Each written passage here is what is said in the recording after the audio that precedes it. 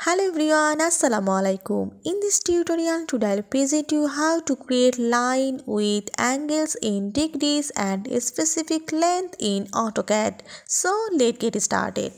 I open AutoCAD 2022 and now I create a line firstly. So I type the command L for line and then press enter.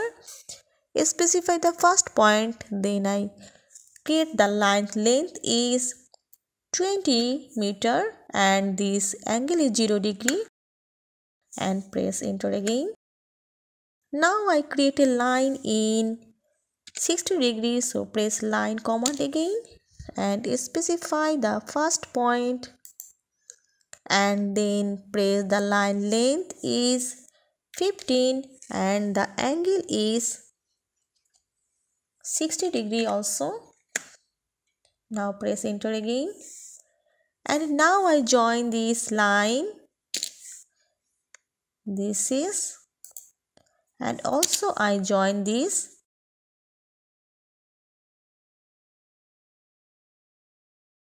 And now I go to annotation to measure this line length.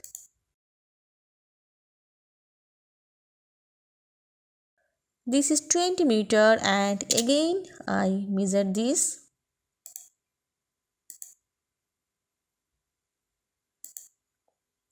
15 meter.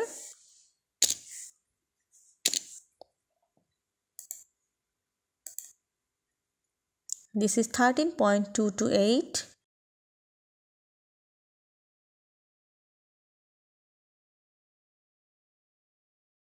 21.79 and now I want to measure this angle of this triangle. So go here in annotation and go to this angular. Now I select this angle.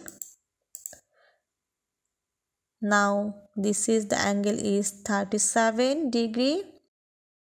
And again I create this angle. This is 60 degree. And this angle size is 79 degree.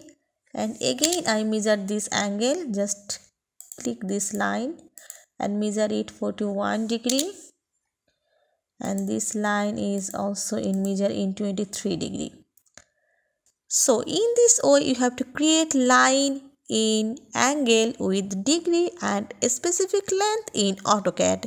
I hope you enjoyed this video. Thanks for watching and don't forget to subscribe my channel. Thank you.